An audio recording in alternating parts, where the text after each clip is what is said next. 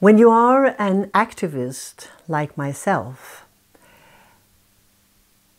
you can go around in the street and protest, or you can make art. What I decided to do was to start small businesses. In the 90s, I wanted to revolutionize the cotton industry and I searched for partners to do that together with. And I found Sekem, who produced cotton.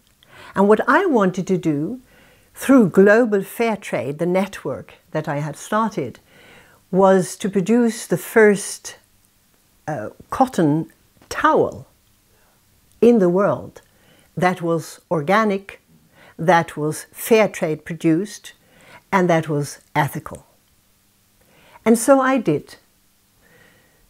So together with the people in Sekem, I produced around 55,000 towels because I'm no designer, I'm an activist and an entrepreneur, and I know when you have a thought, you will do it into action.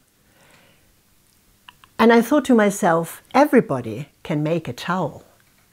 And now I've used this towel as a flag, protesting against unfair conditions when it comes to work, when it comes to uh, pesticides that is used in this cotton industry. And I've also used the towel for, of course, drying myself and many other people. And you feel the cleanliness, not only clean, ecological cotton, but also clean from your heart's perspective, clean consciousness. So through this, I have inspired many other small startups to uh, find their own business of making clothes in Sekem or making t-shirts or making towels or making bed linens. And this inspires me very much because as an activist and an entrepreneur, I want to see it blossom.